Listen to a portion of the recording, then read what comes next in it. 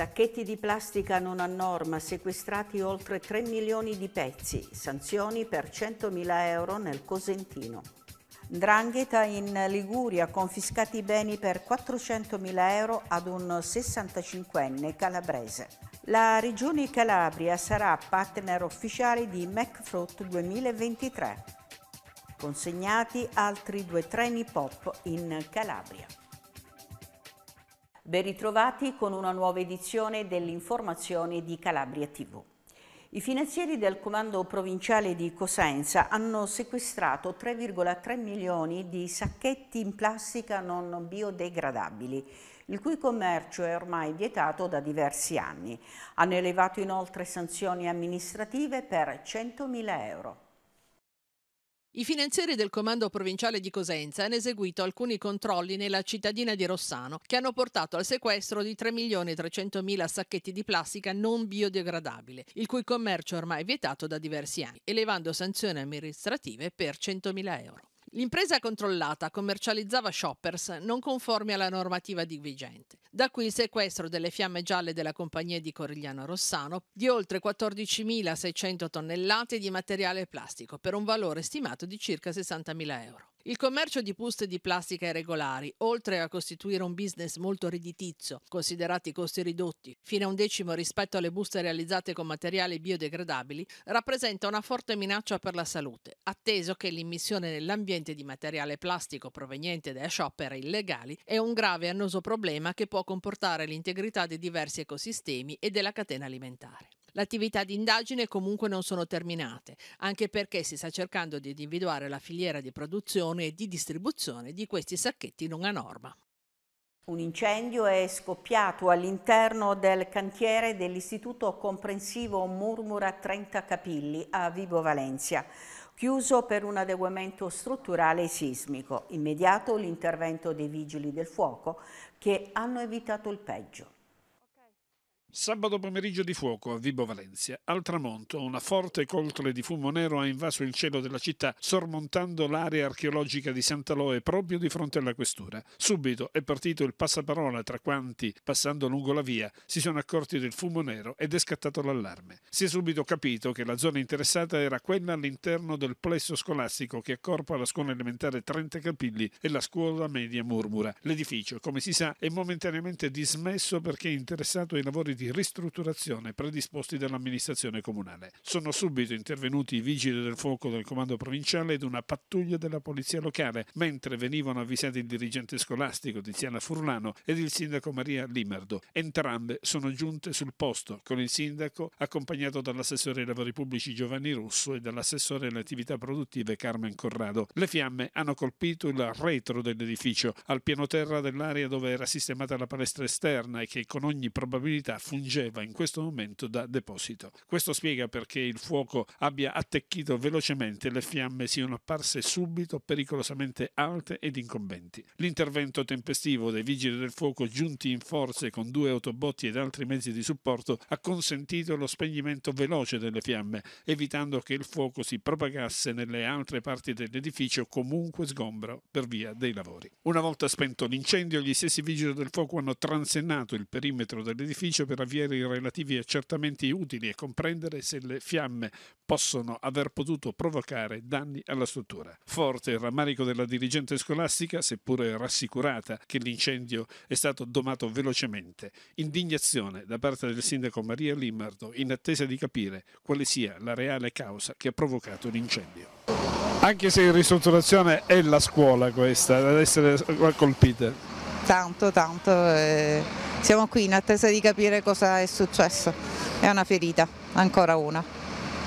Beh, in effetti comunque c'è stata tempestività nel, nell'intervento, quindi i danni sono stati almeno contenuti. Ma credo che i danni siano in ogni caso contenuti perché la scuola era stata svuotata quasi completamente per il trasloco che è stato effettuato, quindi non credo ci siano grandi danni alla struttura perché l'intervento è stato molto tempestivo.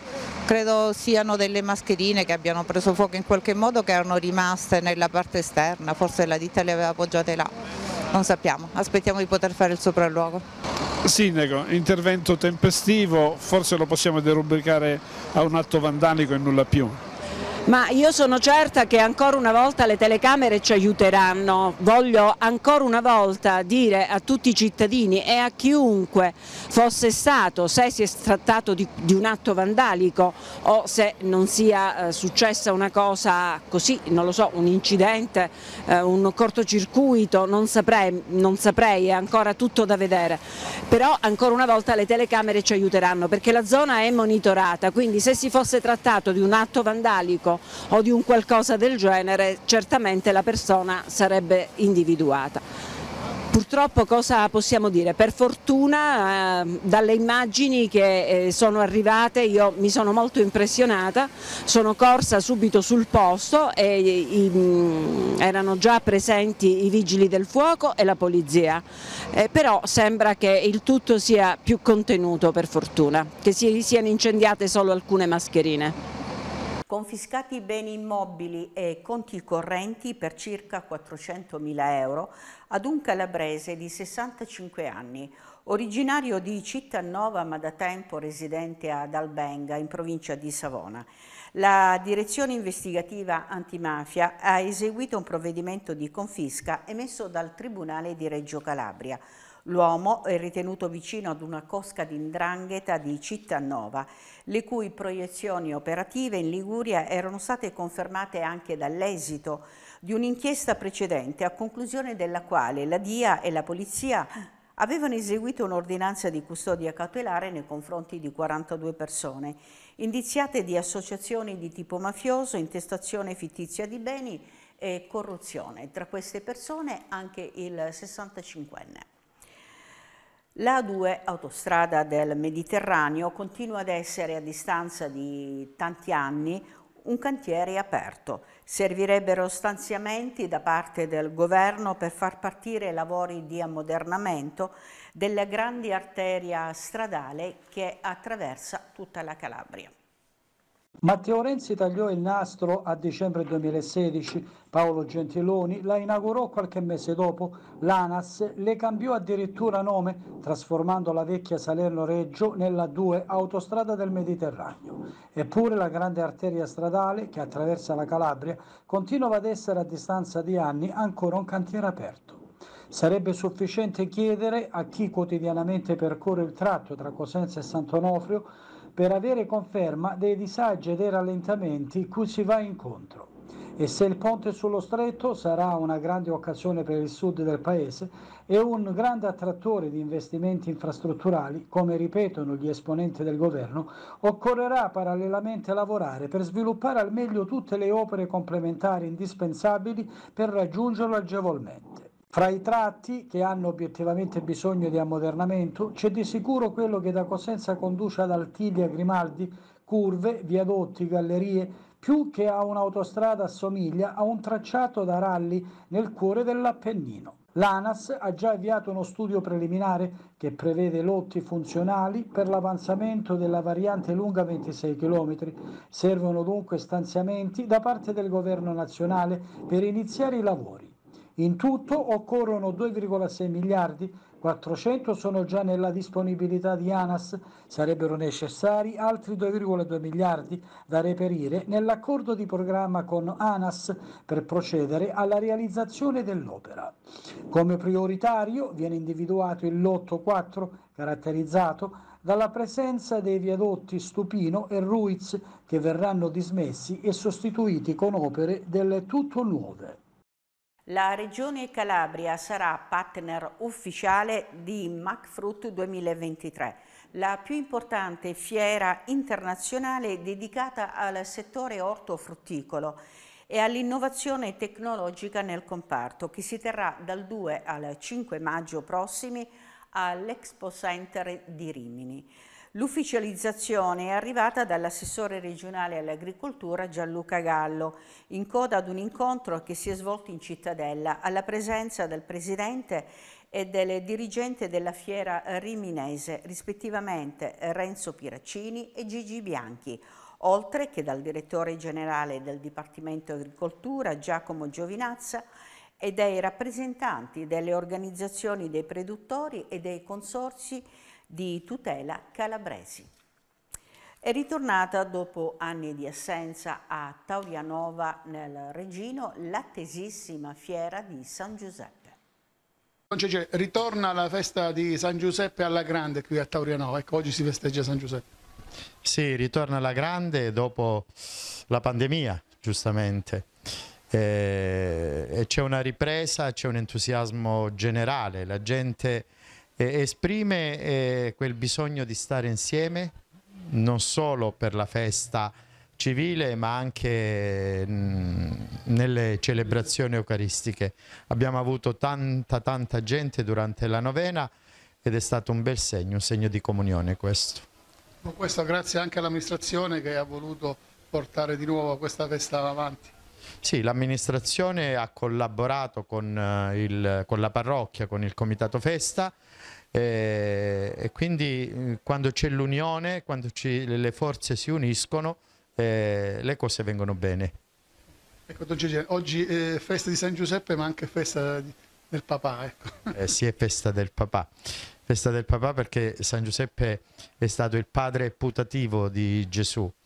Eh, ha accompagnato Gesù mh, mm, nella, nella, sua crescita, eh, quindi eh, è festa uh, del gan- grande patriarca della Chiesa, del custode della Chiesa universale, è festa quindi anche del papà e auguriamo che questi papà, i papà di oggi, possano essere custodi delle famiglie.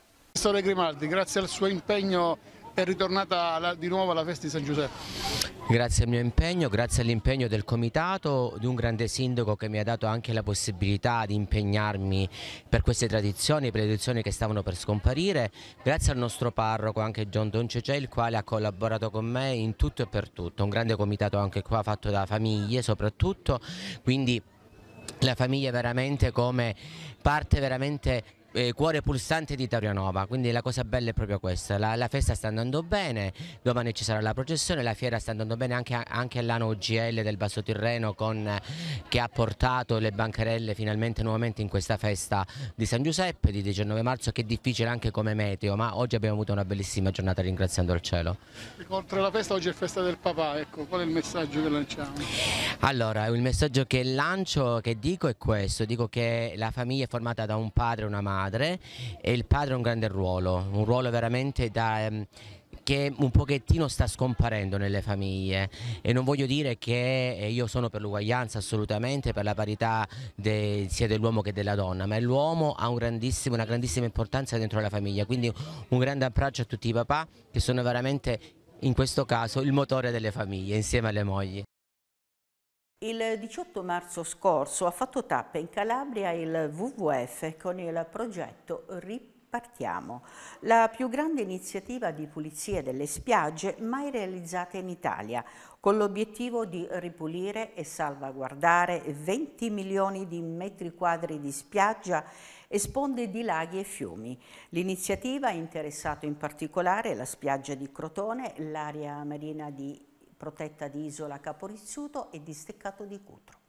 La città di Crotone ha aderito al progetto nazionale del WWF Ripartiamo, che mira a svolgere una serie di attività per la salvaguardia dei territori, coinvolgendo aziende, giovani, scuole e la comunità cittadina. In un sabato mattina, baciato dal sole, tanti studenti alle prese sul lungomare cittadino, con la pulizia delle spiagge, armati di tanta buona volontà. Molto ambizioso, che si snoda in tre, in tre filoni. Il primo è Puliamo l'Italia e qui siamo proprio per dare queste, per questa stagione l'avvio a Puliamo l'Italia. Vogliamo ripulire ben 20 milioni di metri quadri in un anno. Nato dalla collaborazione tra il Giova Beach Party, l'Intesa San Paolo e il WWF Italia, finalizzato a rendere tutti, istituzioni e cittadini, protagonisti della salvaguardia della natura. Perché ripulire? Perché la plastica, in particolare nei nostri mari, è diventato un problema enorme, enorme. Ben 230 tonnellate annue di plastica vengono scaricate dispiegato nel Mediterraneo ed ha un impatto che si riverbera a tutti i livelli, dalla salute umana all'impatto sugli ecosistemi e sulle specie marine.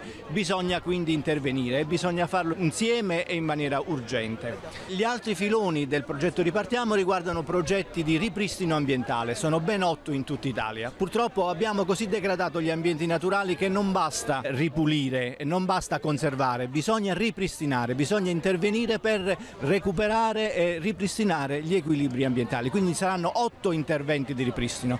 E infine, infine il terzo filone riguarda interventi di educazione ambientale con otto workshop nelle università e un programma poi di educazione ambientale rivolto invece alle scuole medie e ai licei. Quindi un intervento a tutto tondo, proprio con questo obiettivo, unirsi per, per dare un segnale importante eh, nella, nella capacità di intervenire per lasciare un po' un mondo migliore di come l'abbiamo trovato. Questo è il nostro auspicio. Questa può essere anche una lezione di educazione civica all'aperto.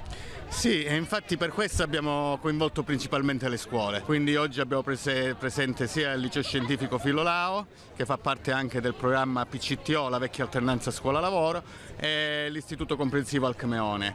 Le future generazioni perché di ambiente se ne deve parlare, soprattutto dobbiamo continuare a stimolare i ragazzi a mantenere eh, pulita le nostre spiagge, ecco perché siamo qui a Crotone oggi. Oltre sacchi, guanti e ogni mezzo c'è c'è bisogno anche di tanta buona volontà. Sì, sicuramente eh, quello di oggi è il simbolo è quello di lasciare un lungomare pulito ai crotonesi in maniera tale che trovando pulito magari ci sia un po' più di rimorso nel, nel, nel, nel, gestire le spiagge in un certo modo. Come hanno risposto gli studenti di Crotone a questa iniziativa? Vedo bene, insomma. Sì, eh, siamo 180 registrati, poi se ne sono aggiunti altri 40-50, quindi un evento importante. Ecco. Penso che il comune di Crotone non abbia mai avuto così tanti volontari sulla spiaggia, è una cosa bella ed è una cosa positiva soprattutto la presenza dei giovani.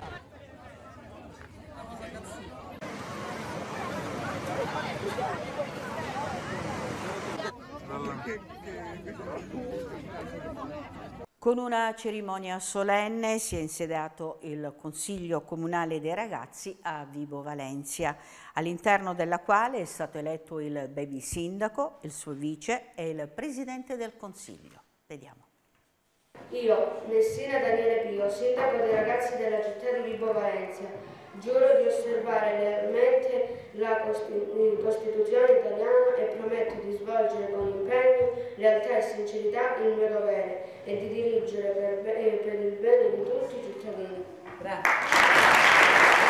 Si chiama Daniele Pio Messina, ha 13 anni e frequenta la terza E della scuola media Garibaldi e questa mattina con 14 voti è stato eletto sindaco del Consiglio Comunale dei Ragazzi di Vibo Valencia. Nelle seguenti votazioni Sofia Farfaglia è stata eletta vice sindaco, mentre Francesca Laganà sarà presidente del Consiglio dei Ragazzi, con Teresa Belcastro come vice. Una mattinata emozionante che ha visto tutti i baby consiglieri entrare con cognizione di causa nella loro parte. Sono stati eletti tra tutti i ragazzi che frequentano le scuole medie della città capoluogo dopo una campagna elettorale che ha portato alle elezioni in base al nuovo regolamento approvato nel 2019. Molto emozionato per essere qui al comune, essere accolto anche dal sindaco di Vibo eh, in una sala così importante per il territorio vibonese. Eh, emozionato perché eh, credevo sin dall'inizio di volerlo fare e ci sono riuscito a prendere questa carica.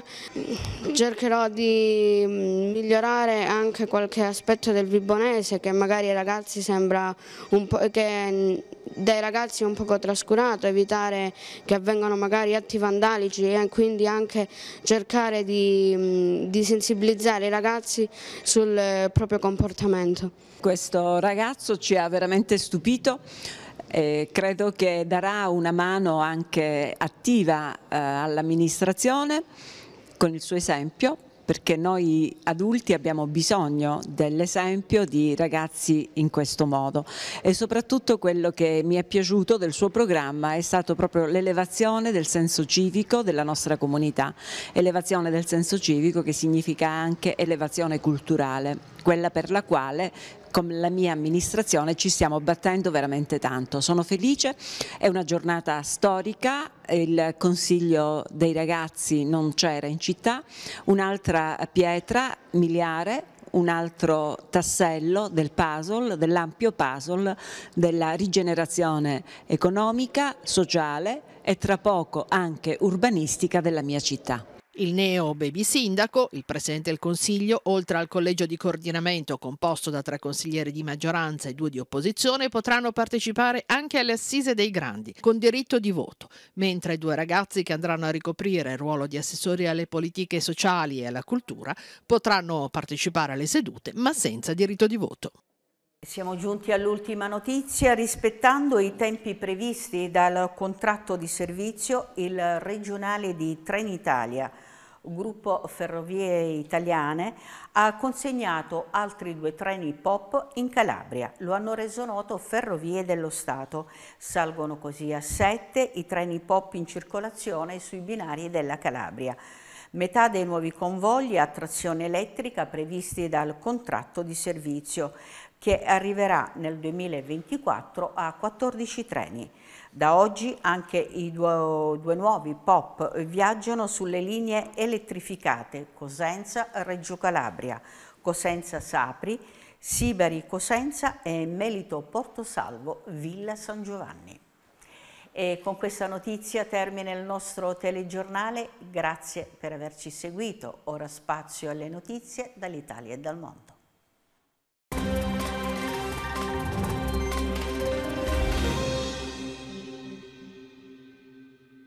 È iniziata oggi la tre giorni di Xi Jinping in Russia. Il presidente cinese ha incontrato a Mosca Vladimir Putin che dice guardiamo con interesse alle proposte di Pechino per risolvere la crisi a Kiev, ma la Casa Bianca replica se la Cina proporrà il cessate il fuoco Kiev lo respinga. La Cina e la Russia sono buoni vicini e partner affidabili. Siamo pronti a vigilare con Mosca sull'ordine mondiale basato sul diritto internazionale e sui principi della Carta delle Nazioni Unite, aveva affermato prima del faccia a faccia il leader cinese. Al termine del vertice con Putin, colloquio telefonico del presidente cinese con Zelensky, che lancia il suo appello. Xi Jinping usi la sua influenza su Putin per fermare la guerra guerra. Arriva intanto l'ultima provocazione dell'ex presidente Medvedev. Si potrebbe lanciare un missile contro la Corte Penale Internazionale dell'AIA. I mercati restano agitati malgrado il salvataggio di Credit Suisse da parte di rivali di UBS e l'intervento della Fed e della Banca Centrale Svizzera. Dopo un pessimo inizio le borse europee recuperano fiducia. Milano sale dello 0,5%, Parigi dello 0,8%, Francoforte dello 0,6% e Londra dello 0,4%. Il sospiro di sollievo allenta la corsa dei beni rifugio come l'oro che azzera i rialzi rialzi dopo essere volato sopra quota 2000 dollari l'oncia.